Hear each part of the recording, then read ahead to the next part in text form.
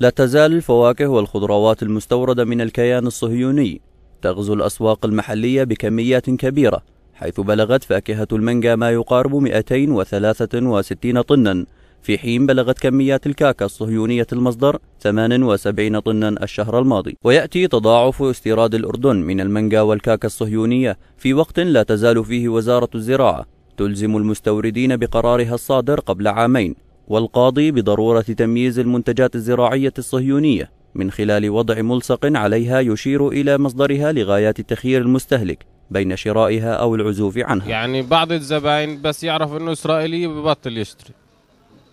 والبعض ما ما بيفرق معه يعني. وبما إنه أصلا الحكومة منزلتها وجابتها إسرائيلية فالشعب بده ياكل يعني شو بده يكون المشكلة؟ إلا أن عددا من تجار التجزئة لجأوا إلى التحايل لإخفاء مصدر هذه الفاكهة الصهيونية وذلك بإفراغ شحنات هذه الفاكهة من العبوات الكرتونية وإزالة الملصق عن الثمرة تمهيدا لبيعها للمواطنين بشكل يخالف تعليمات وزارة الزراعة والجهات الرقابية. ماشي حالها ملاحة كويسة مطلوبة يعني. بس لما بشوف ال label عليها بكشوا العالم أو بقولوا ما بدنا. أما لما تقيم ال label عنها بتمشي حالها. تجار التجزئة الذين يبيعون هذه المنتجات الزراعية يؤكدون أن منشأها من قلقيلية في فلسطين ولا علاقة لها بالعدو الصهيوني. مشيرين إلى أن العدو الصهيوني هو من يضع الملصق على الثمار لاعتبارات استعمارية. المانجا والبقات وال هذا كله مصدر منين؟ من الضفة الغربية، الليبل يوم بيطلعوا منه وبيطلع المصدر من مزارعين الضفة الغربية لازم يحطوا عليها إنتاج إسرائيل. إنتاج اسرائيلي وهي أصلا إنتاج إيش؟ مزارعين الضفة الغربية. وبحطوا عليها لازم الإسرائيلي يحطوا عليها إنتاج إسرائيلي. تطلع. كيف إنتاج الانتاج الاردني شوفك التفاح بيطلع جوردن أردن الإمارات.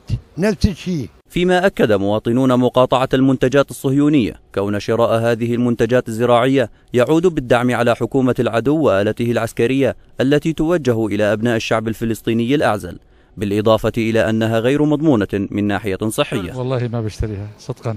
نفسيا يعني ما بعرف نوعيتها جيدة أحسن من خضرتنا الكاكا هاي الإسرائيلية تطلع حلوة والأفوكاتو طيب بس لأنها إسرائيلية بشتريهاش. فقط فقط لانها إسرائيلية.